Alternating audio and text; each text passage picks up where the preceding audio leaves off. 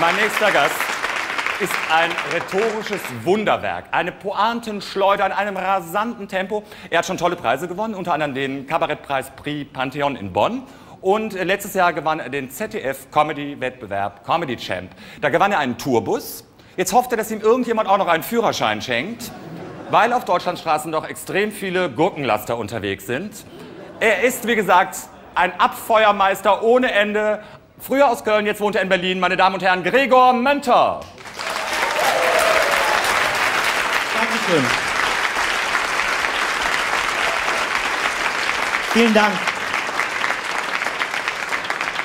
Ja, ich freue mich sehr, dass ich hier sein darf, aber ich möchte, bevor ich richtig loslege, erstmal mit ein paar Vorurteilen aufräumen. Ich glaube, dass in den Köpfen vieler Zuschauer immer noch von schwulen Mitmenschen das Klischee äh, vorherrscht. Naja, effeminierter Gestus, äh, Körperkult, Modeterror, äh, FDP, äh, CSD, Entschuldigung, das verwechsel ich immer. Ähm, und das ist absolut nicht wahr. Schwule Identität macht sehr viel mehr aus, äh, wie zum Beispiel Ja. Wir können, wir können äh, schwule Musik hören jetzt, ja. Also es gibt Sampler, da ist vorne dann so ein nackter Mann drauf abgebildet. Es gibt schwule Bügelbretter, da ist ein nackter Mann drauf abgebildet. Es gibt Uhren und so weiter. Es gibt äh, Parfümflakons als nackte Männer von ähm, Jan-Paul Gaultier. Es gibt äh, Unterwäsche äh, von Yves Saint Laurent. Es ist einfach nicht zu fassen. Und jetzt auch eine schwule Schwerpunktsendung. Dankeschön.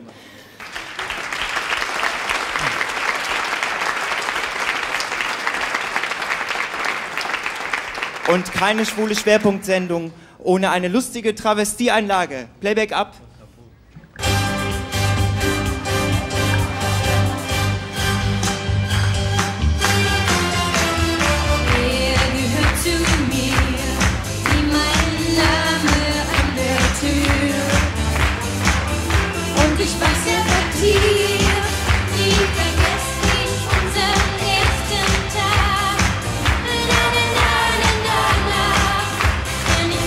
So, das reicht.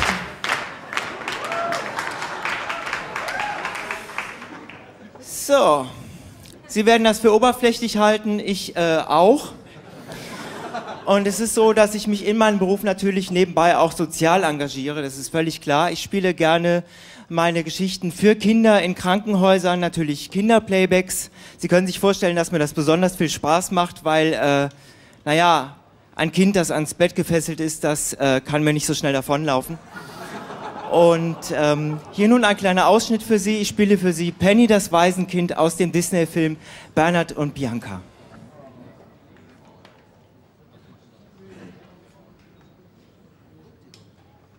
Was ist los, Penny-Mädchen? Ach, nichts. Du wirst doch von mir keine Geheimnisse haben. Vertrau dich dem alten Rufus an. Ach, heute war doch Adoptionstag im Waisenhaus. Na und?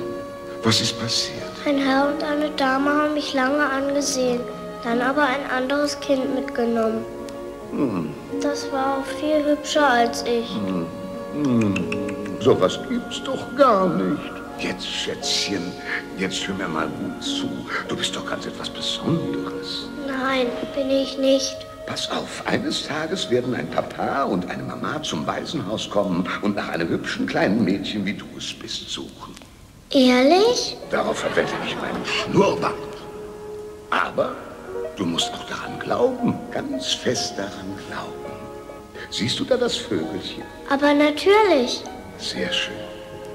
Glaube ist wie ein Vogel, den man von weitem sieht.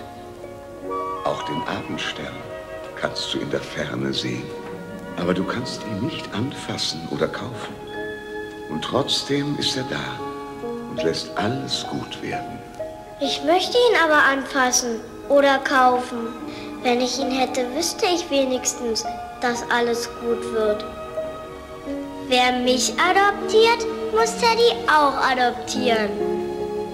Oh, sie werden ihn lieb haben. Aber er darf nur nicht so viel essen. Oh je, beinahe hätten wir das Abendessen versäumt.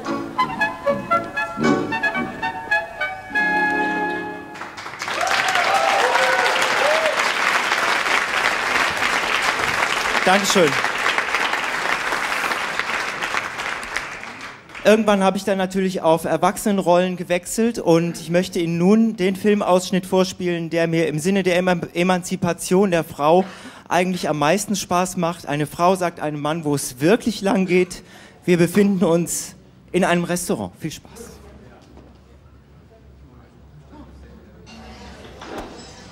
Und danach steigst du einfach aus dem Bett und gehst. Klar. Irgendwas musst du ihnen doch sagen. Dass ich ganz früh zu einer Besprechung muss, zum Friseur oder zum Squash. Du spielst mit Das Squash. wissen die doch nicht. Die kennen mich doch kaum. Das ist ja ekelhaft. Was regst du dich so auf? Dich betrifft es überhaupt nicht. Sicher tut es das. Du bist ein lebendiger Affront gegen alle Frauen und ich bin eine Frau. Das klingt vielleicht eitel, aber bis jetzt hat sich keine beschwert. Wie denn auch, wenn du so schnell verschwindest? Ich glaube, sie hatten alle ihren Spaß. Wie willst du das wissen? Soll das heißen, dass sie äh, den Orgasmus äh, vorspielen? Das wäre doch möglich. Die meisten Frauen haben es irgendwann schon mal vorgetäuscht. Hm, Das hat bei mir noch keine gemacht. Woher willst du das wissen? Ich weiß es eben.